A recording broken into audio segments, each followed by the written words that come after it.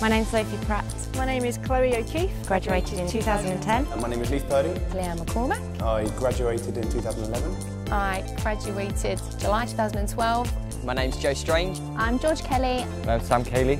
I'm currently studying a BA in Sports Studies. I'm just finished my second year studying Sports Studies with BA Honours. Stuart University of Bedfordshire and I'm on a BA Sports Studies course. My name is Lee. I have been working for six years at La Santa now and my position here is Green Team uh, Manager. In 2010 we basically started to get students uh, of University of Bedfordshire and the first year we had uh, two students over, which were Chloe and Sophie.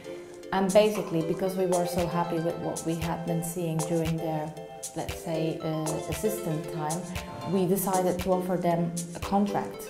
Although at that time the staff situation was not that easy to fit them both in, but we did because we were so happy with them. The internship that was uh, offered to me was perfect for leaving in third year.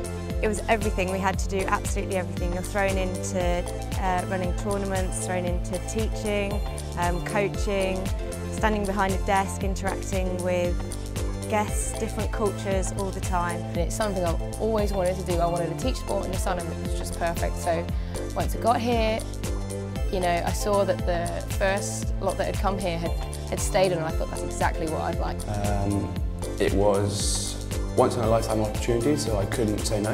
It's absolutely fantastic. The Green Team has many different roles. So we're sports coaches, we have entertainment hours in the evening, we're in the Green Team show on a Monday night.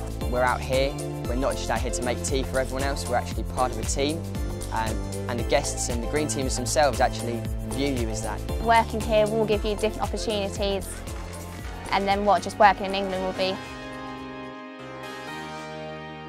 Uh, you have to know that if they come and work with us, they have to work within a team. And they, all the students that we've had until now have liaised very well within that team. They are very well liked between their colleagues. Um, and that's very important for me as well. A couple of times people have mentioned that the team kind of becomes your family away from home. We get so close, they're not just work friends that we're working with, it's social friends as well, all tied into one. You know, you'd be walking around and suddenly you hear your name get shouted down the hallway and you realise it is a kid or a, an adult who you taught three or four months ago. And it really is fantastic when they come back and they are totally over the moon that you're still here. When I first came it was a little bit daunting because obviously I didn't know what to expect. However, coming with Sam and Joe was, was a lot more beneficial because I felt more that I wasn't by myself. The lecturers kept on going on about how important it was for me to self-reflect. And at the time I was thinking, oh, why are we doing this? It's, it's not important. Um, but now I'm here, now I've been in this situation, now I've grown, I've come to realise that it's imperative. I wasn't a very confident person when I came out here. I didn't like standing in front of groups and talking. But coming out here I've realised what some of my weaknesses are and what my strengths are and what I need to work on. It was only this week, wasn't it, that somebody came to us and he recognised that we were from Bedford and Leanne and Leith were also from Bedford and also the other students, Joe, Georgia and Sam.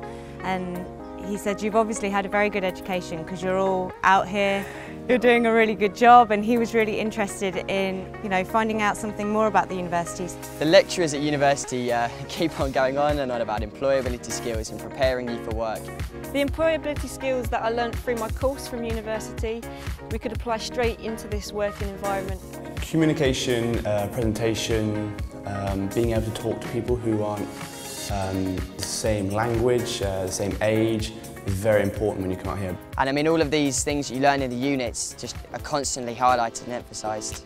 They're also very um, good with taking initiative, coming up with new ideas, setting up new activities. And they have a way where they are very well spoken, where they bring their ideas but without being overwhelming or pushy. They have a very good way in speaking their mind, let's say, and that's something we appreciate a lot as well. So I think if I wanted to go somewhere else to work, if they see you've got a, a degree in, in this course and have a ref reference from a sports facility like this, you know, give, puts you quite ahead of everyone else, I think. Working here this summer, I've rubbed shoulders with the Paralympic South African team, which is also going to be a great addition to my CV. I think it's very important and it's very good that UOB do offer this international course for students. I would really strongly recommend, if you've got the opportunity to do it, put yourself in that position. I chose to study sports studies at Bedford because during the open day we were told about an internship at a Club Santa resort which was not given to us by other university at their open days. It's like we've skipped all the middle part and got straight to the best bit. The transition from us becoming students into getting our job here was just, it was just so easy because we put in the work, we used our skills that we gained from university, the skills that we developed whilst we were here. We were just really lucky in, in that they gave us opportunities here that we could never replicate back in England or I imagine it's very hard to replicate anywhere else in the world.